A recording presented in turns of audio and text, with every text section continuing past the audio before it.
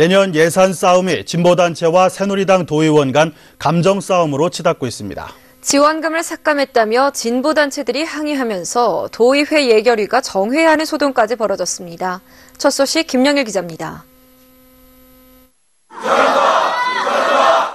새누리당 도의원들이 정략적으로 지원금을 삭감했다며 반발하는 충북 시민사회단체 연대회의 기자회견.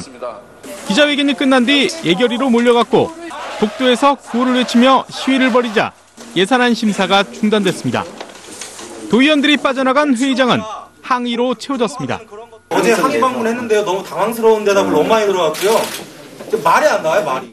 방청하고 싶으면 정식으로 인정을 해줄 테니까 정식으로 절차를 거쳐서 이렇게 하셔야죠.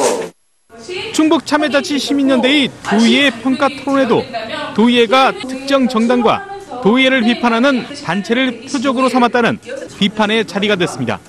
특정 정당 또는 의회의 비판적인 시민단체를 타깃으로 했다라는 혐의를 어, 지울 수가 없습니다. 이에 대해 새누리당 도의원들은 발끈하고 있습니다. 지난해 지방재정법이 개정되면서 지원 기준이 강화됐고 그동안 방만하게 지원돼 온 예산을 진보 보수 없이 꼼꼼히 심사했을 뿐이라며 정략적 삭감에 동의하지 않았습니다. 방만하게 운영되어 온 결과를 초래했기 때문에 그런 부분들을 바로잡기 위해서도 보다 강력하고 보다 꼼꼼한 그런 예산 견제가 이시종 지사와 김병우 교육감까지 내부 회의와 SNS 등을 통해 예산 삭감에 불만을 표시하며 물밑 갈등은 고조되고 있습니다. 유례 없는 대규모 예산안 삭감을 둘러싼 파문이 일파만파 번지고 있습니다. MBC 뉴스 김여일입니다.